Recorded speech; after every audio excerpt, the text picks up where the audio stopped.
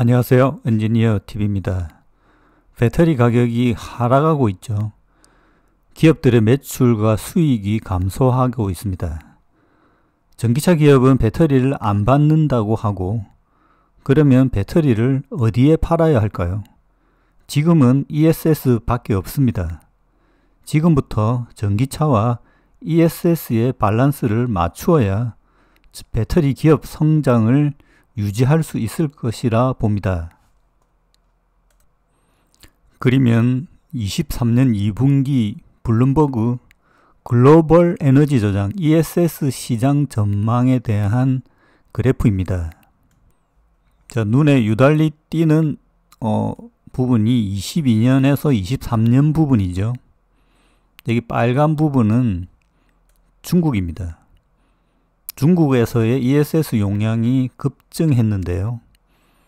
음, 그 이유는 뭐 당연히 전기 시대가 중국에 더 먼저 왔기 때문이겠죠. 왜냐? 전기차 판매량이 많아졌기 때문에 전기 사용량이 더 많이 늘어났겠죠. 그렇게 되면 ESS에 대한 요구사항이 늘어납니다.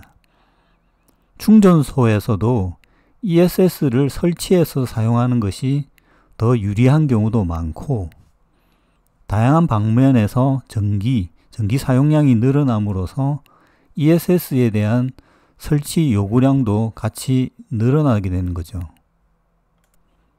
자, 23년 부분이 추정치보다 33%더 가팔라지고 있다. 상승률이. 이렇게 보고 2030년까지 이 형태를 유지할 거라고 추정하고 있습니다. 자, 맥스치가 연간 100기가 이상이 되고 설치 용량이 370기가에 이를 것이다 라는 거죠. 자, 이 370기가의 설치를 신규 배터리로 할 수도 있고 자, 지금 보면 미드니켈, 인산철도 대두되고 있죠. 소디움 나트륨 이온 배터리도 현재 ESS 용도로 많이 알려지고 있습니다. 지금 배터리 가격이 낮아짐에 따라서 ESS로 돌리려고 하는 그런 경향도 나타나고 있는 거죠. 자, 중국 다음에 유럽, 미국 순으로 현재 진행될 겁니다. 전기차도 그렇고 ESS도 그런 순서대로 진행될 것으로 봅니다. 중국 경우에는 2030년까지 23배 급증한다 라는 예측도 있습니다. 지금 여기가 23년 구간이죠. 22년에서 23년 구간이 급증했죠. 자, 에너지 시프팅. 이 빨간 선을 보면 commercial industry. 다양한 용도로 지금 늘어나고 있는데 저는 향후 이 곡선이 더 가팔라지지 않을까 라는 생각도 듭니다. 자, 이 모든 원인 인자하고 연관되어 있는 게 ESS 성장이 어, 원래 전기차 판매에 의해서 전기의 사용량이 늘어나기 위해서 늘어남에 따라 ESS 용도가 사용량이 커지겠지만 지금 현재 배터리 기업들 어, 관련 기업들의 어떤 문제점이 있죠. 리튬 가격도 많이 내려가고 이것을 올리기 위한 정상화하기 위한 방법 중에 하나가 ESS입니다. 이거는 자동차용 배터리 팩의 가격이죠. 지금 이 부분이 현재 대두되었는데 사실 작년 여기 보면 160, 20년도 160, 150 이렇게 떨어지다가 갑자기 161로 올랐다가 다시 139로 폭락했다라고 볼 수도 있는데 사실 이게 정상화 과정이거든요. 자, 팩이 현재 간소화되고 결론 중요한 거는 세일 가격입니다. 자, 여기 보면 21년 20년도부터 7% 하락 이전에 보면 16% 15% 하면서 배터리 가격이 좀 급락하는 상황이었는데 이때는 어, 전기차용 배터리의 용도 자체가 많지 않았기 때문에 가격이 비쌌죠. 그러면서 대량 생산에 접어들면서 이제 가격이 내려가기 시작했고 적정 가격 100, 100달러 미만에 대한 어, 생각들이 있었죠. 그게 지금 달성되고 있는 시점인데 이게 좀 안 좋은 상황에서 뭐 수급이 안 좋다. 어, 배터리 시장 자체가 전기차 시장 자체가 안 좋다라는 생각으로 지금 배터리 가격이 빠지는 것처럼 보이는데 실질적으로는 작년에 여기 보면 이게 마이너스 11.3% 이게 올랐다라는 거거든요. 정상적으로 이렇게 3% 단위로 빠져줘야 되는데 저는 한 21년 이후에는 한 4.1% 평균 하락을 했었어야라고 봅니다. 그게 22년에 오르는 바람에 올해 16.4% 폭락하는 상황이 나타난 거죠. 근데 이거를 다시 생각해 보면 22년의 상황이 정상적이었다고 하면 저기 보면 저는 2.6% 그러니까 112달러 정도 22년에 내려만 줬었으면 올해 107이죠. 같은 가격이면 4.5% 빠진 걸로 나오죠. 그리고 그 이후에는 저는 약간 한 3% 단위 정도 어느 시점에 가면 거의 이제 뭐 하락률이 줄어들 거라고 봅니다. 상승하기는 쉽지는 않아요. 왜냐하면 에너지 밀도, 기술 발전에서 에너지 밀도가 점점 높아져 가는 게 정상 방향이기 때문에 배터리 가격은 원래 빠져야 된다. 라는 게 정식이죠. 정상적인 움직임입니다. 작년에 오르는 바람에 마이너스 11.3%가 되는 바람에 올해 어, 이상한 방향으로 지금 약간 오해한다고 해야 되나 그런 상황이 발생되는 거죠. 저의 예측은 24년에 3.7% 정도 그러니까 4% 미만으로 빠질 거라고 봅니다. 이 정도 사실은 빠져줘야지 어, 전기차 가격도 낮출 수가 있거든요. 그리고 25년에 2.9%. 근데 26년에 되면 약간 높아질 것 같기도 한데, 자, 지금 가장 문제가 되는 게 그 탄산 리튬 선물 가격입니다. 중국에서. 지금 이 같은 시기에 이게 CATL이거든요. CATL 주가도 좋지가 않죠, 지금. 배터리 기업으로서. 근데 어, 선물 가격은 탄산 리튬 가격은 더 하락 깊이가 큽니다. 이게 지금 멈춰야 되거든요. 리튬 가격이 너무 많이 지금 투기 자금이 들어왔다고 저는 보는데요. 생각보다 많이 떨어지는 게 수요 공급의 어, 상황보다는 자, 이 수요를 높이는 방법은 현재로는 ESS 확대밖에 없다라고 봅니다. 자, 이 자료는 UBS 자료를 이용한 어, 자료인데요. 자, 여기 보면 중국 같은 경우에 현재 어, 가파르기가 줄지 않았어요. 사실 보면 중국의 리튬 가격이 떨어질 이유가 없거든요. 따지고 보면. 중국의 전기차 시장은 지금 견조합니다. 사실 보면. 그러니까 유럽이 23년, 24년 구간에 약간 주춤할 것 같고 그 이후에 다시 상승할 거다.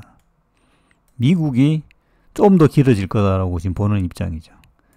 그러니까 현재 중국 유럽, 미국으로 가는 이 구간이 한 2년 정도 차이가 있다라고 보는데 이거를 사실은 단축시켜야 됩니다. 단축시키기 위해서는 결국 지금 테슬라처럼 전기차 가격을 다운시킬 수밖에 없어요. 그래서 가격이 현재 뒤에 보면 나머지 중국, 유럽은 내연차 밑으로 전기차 가격이 내려왔다 라고도 해석하고 있습니다. 보면 성장률이 23년, 24년이 급격하게 떨어지죠.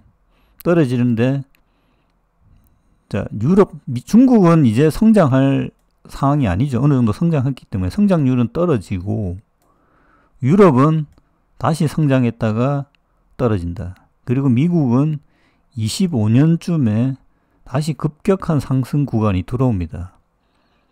근데 이 구간까지의 시간이 지금 보면 꽤 걸리죠. 이 구간을 지금 이 구간에서의 배터리 수요를 전기차 외에 다른 곳으로 돌려야 되는 거죠.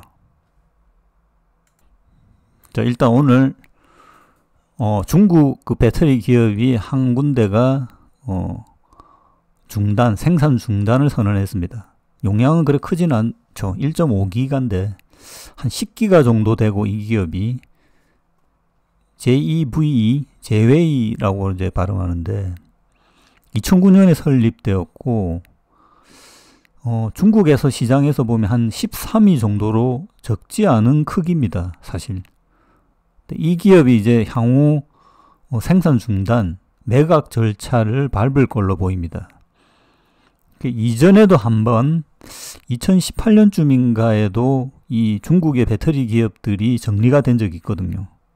지금 다시 두 번째 정리가 되는데 중국 외의 지역에서도 이런 현상이 현재 나와줘야지 한두 개 기업이 빠져줘야지 어, 배터리 셀의 가격이 안정화될 수도 있을 걸로 보입니다.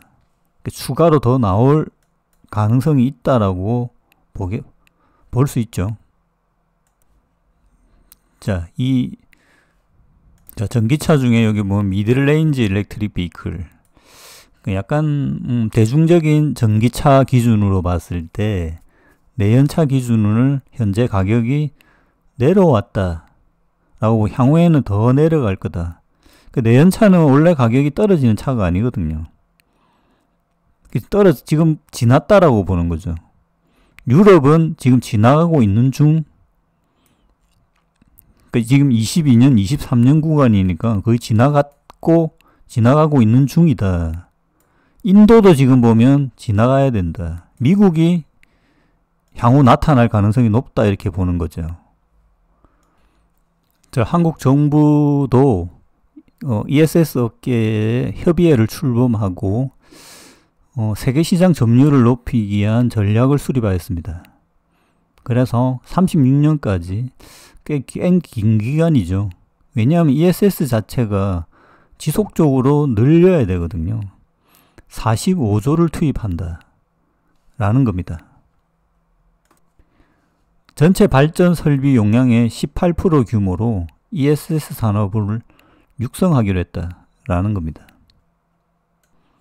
한국의 ESS가 화재로 조금 문제가 있었지만 기술적인 보완이 어느 정도 되었고 지금 ESS를 설치하지 않으면 전기 수급에 문제가 발생할 가능성이 높거든요. 당연히 ESS를 해야 됩니다. 그래서 한국에서의 ESS 설치량이 늘어날 겁니다. 실제 ESS 시장도 규모가 꽤 큰데 지금 보면 우리가 보통 보는 대표적인 SNE의 데이터들이 요거는 전기차용 배터리 사용량인데 여기 중국의 SN이라고 하는 ICC라는 이신호라는 곳이 있습니다. 이곳에도 어, 글로벌 배터리 생산 용량이 나오는데요. CATL 보면 1월, 올해 9월까지가 178인데, 여기에서는 261이죠. 실제 배터리 생산량은 전기차 외에도 꽤 큰 규모가 있습니다. 음. ESS도 있고요. 그 다음에 소형 부분도 있고.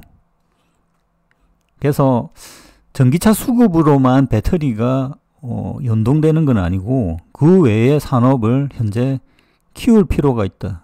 그리고 확대할 필요가 있는 거죠. 전기차 외에 배터리 산업만 봤을 경우에 ESS 하드웨어는 이렇게 이제 컨테이너 구조의 배터리와 여기 보면 온도 조절 장치, 안전 장치들도 있겠죠. 그 다음 어, 이 전력을 컨트롤하는 장치 그리고 중앙 통신 장치들로 구성되어 있습니다. 이 배터리만 있는 게 아니죠. ES 산업 자체를 보면 배터리가 가장 크지만 또 다른 산업도 사실은 꽤 큽니다. 이 전체를 관리해야 되는 상황도 있고 전력 전송도 해야 되고 그리고 이렇게 태양광, 풍력 같은 이 친환경 전력 생성 장치와 꼭 결합이 되어야 되거든요. 원자력을 제외한 친환경 전기 생성 장치 같은 경우는 무조건 ESS가 있어야 됩니다. 배터리 외에 다른 어, 기술들이 필요한 거죠. 자, 여기에서도 하드웨어 외에 소프트웨어적인 기술이 필요합니다. 이것이 VPP, 버추얼 파워 플랜트 가상 발전소 어, 영업입니다. 일종의 ESS를 설치하고 구독료를 받을 수 있게 되고 여기에서도 AI 관리 같은 그런 기술들도 접목이 되어야 합니다. 일반적인 수력 풍력 발전, 그 다음 공공기관 같이 꾸준히 어, 전기가 필요한 곳, 공장도 마찬가지죠. 그리고 전기 자동차도 어, 충전하고 그 다음에 전력을 생산했을 때 보낸다든지 다 연관이 되겠죠. 지금 보면 이 가상발전소업이 사실은 보면 조금 음, 하드웨어적인 외에 소프트웨어적인 구독경제 같은 자 구독경제 같은 사업이죠. 지금은 이제 아이디어와 다양한 소프트웨어적인 개발이 필요한데 ESS 자체가 지금 이제 깔아지기 시작하기 때문에 하드웨어가 초기 단계이므로 실적 추정은 쉽지 않지만 어느 정도 규모를 확보하게 되면 꾸준한 영업이익을 창출할 수 있는 사업으로 보입니다. 자, 끝으로 자, 여기 그림과 같이 ESS는 화재가 위험한데 화재가 났을 경우 전체적으로 퍼지지 않고 국부적으로만 관리될 수 있는 방향이 있어야 되고 도심에서의 ESS 같은 경우에는 단독 설치이기 때문에 어, 절대 화재가 나지 않는 구조로 개발이 되어야 됩니다. 이 부분도 상당한 보완이 필요할 것으로 봅니다. 당연히 전기차에 들어가는 어, 화재 방지 기술들이 동일하게 ESS도 적용될 것으로 봅니다. 자, 최근 어, 전기차 판매 둔화 등 성장률 둔화로 인해서 리튬 가격 하락, 배터리 가격도 하락하고 있는데 이 부분을 돌파할 수 있는 ESS의 성장이 이제 시작되고 있습니다. 그게 생각보다 급격하게 커질 걸로 봅니다. 수요라든지 배터리 기업들의 어, 필요성도 있기 때문에 자 그러면 얼마나 성장할 수 있을지 향후 지켜보도록 하겠습니다. 자 이것으로 마치겠습니다.